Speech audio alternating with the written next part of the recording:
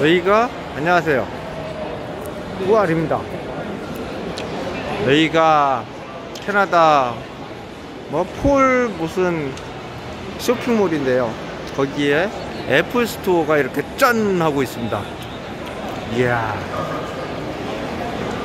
그래서 여기 애플 스토어를 한번 가보려고 합니다.